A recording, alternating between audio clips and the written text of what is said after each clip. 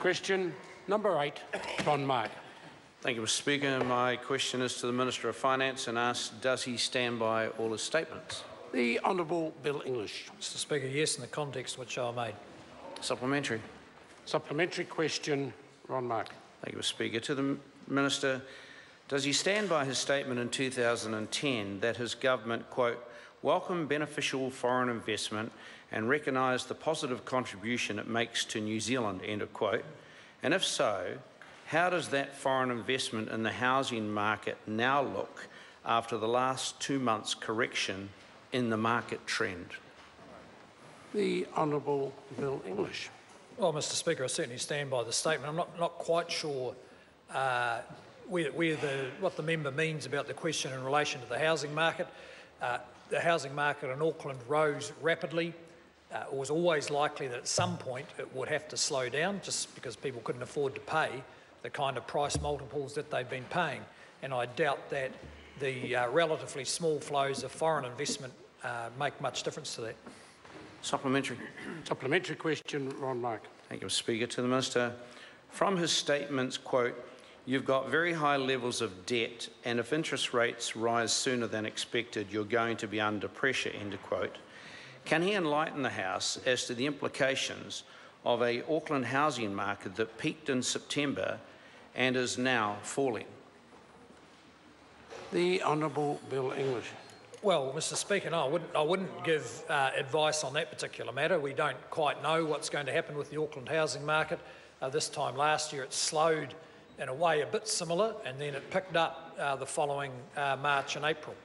So we don't, we don't quite know how it'll work out, but I do stand by the statement that those who have uh, those who've uh, borrowed very large amounts of money relative to their income uh, do need to keep in mind that interest rates can rise.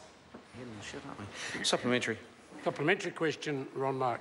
Thank you, Mr Speaker. To the Minister, what is his view of falling essential pre-sales commitments in apartment complexes taking up to two years to build, with increasing interest rates and the prospect of projects like this foundering and being abandoned?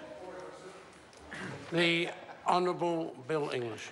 Well, Mr Speaker, look on, from a government's point of view, that's the operation of the market. People who are building apartments have taken risks. Uh, they have to get the support of their banks to be able to execute uh, the building of those apartments, and if they can't, then someone else will get them a bit cheaper and probably finish them. That's how you. That's the kind of adjustment you would expect to be happening in a market that has been running pretty hot. Supplementary. Uh, supplementary question, Ron Mark. Thank you, Mr Speaker. To the, to the Minister, does he stand by his statement on 28th of May 2009 that, quote, the government is committed to maintaining national super entitlements at 26% of the average wage to be paid from the age of 65, end of quote. The Honourable Bill English. Uh, well, Mr Speaker, I just have to check exactly the 26%, but uh, that's what the government's done. So, supplementary. Supplementary question, Ron Mark.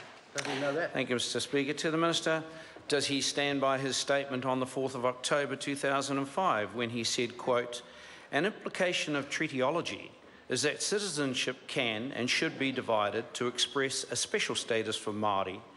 This notion runs sharply counter to broad public support for the idea of one law for all, and does he believe he has been true to that statement or has he reneged? The Honourable Bill English. Uh, Mr Speaker, yes. Question